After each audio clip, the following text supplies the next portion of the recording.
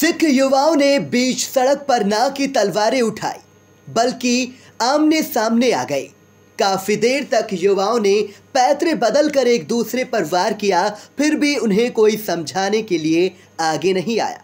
उल्टे सभी लोग तमाशबीन बने रहे। जी हाँ ये नज़ारा रविवार को नगर हरगांव की सड़कों पर देखा। दरअसल गुरु गोविंद सिंह के प्रकाश पर्व पर शोभा यात्रा निकालकर नगर कीर्तन किया गया। श्री गुरु ग्रंथ साहब की सरपरस्ती पर पंच प्यारों की अगुवाई में निकाली गई शोभा यात्रा में गदका पार्टी ने हैरत अंगेज करतब दिखाकर सभी को दांतों तले उंगली दबाने पर मजबूर कर दिया। आँखों पर पट्टी बांधकर सिर पर रखे नारियल को हथौड़े से तोड़ा और फिर लोहे की मोटी राड को सीने से मोड़कर सभी को अचरज में डाल दिया। वही आग के गोले के बीच किए गए प्रदर्शन से हर कोई अचंभित रह गया। यही नहीं बर्फ़ की सिल्ली को सीने से लेकर पेट पर तक रखवाया और फिर मोटे व बड़े हथौड़े से उसके टुकड़े टुकड़े किए। शोभा यात्रा में गुरु के प्रति अनूठी श्रद्धा, भक्ति भी दिखी। सिख धर्म की महिलाओं, युवाओं ने गुरु गोविंद सिंह के रथ के आगे झाड़ू लगाकर आस्था का संदेश दिया। शोभा यात्रा गंज बाज़ार गुरुद्वारे से चलकर चौराहा हर हरगांव होते हुए लहरपुर मार्ग से भ्रमण कर वापस गुरुद्वारा पहुँची। इस दौरान वाहे गुरु जी दी खालसा वाहे गुरु जी दी फतेह के जयकारे गूंजते रहे। यात्रा में जगह जगह प्रसाद का वितरण किया गया। यात्रा में सरदार गुरुदीप सिंह ज्ञानी हरभजन सिंह हरदेव सिंह, राकेश सेठ पूर्व विधायक रमेश राही, अरुणेश त्रिपाठी रतन सिंह, बलजीत सिंह, पंकज खन्ना, गुरुचरण सिंह, राजा सिंह, प्रधान जसविंदर सिंह सहित विभिन्न धर्मों के लोग शामिल हुए।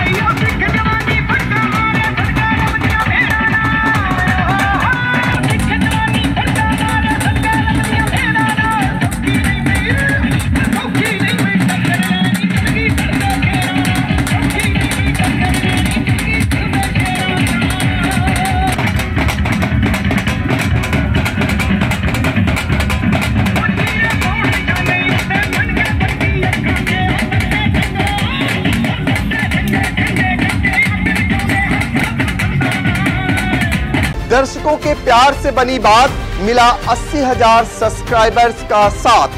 कम समय में डेढ़ करोड़ से भी अधिक दर्शकों ने देखा आई इंडिया।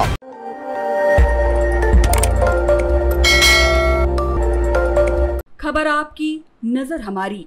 देखते रहिए आई इंडिया।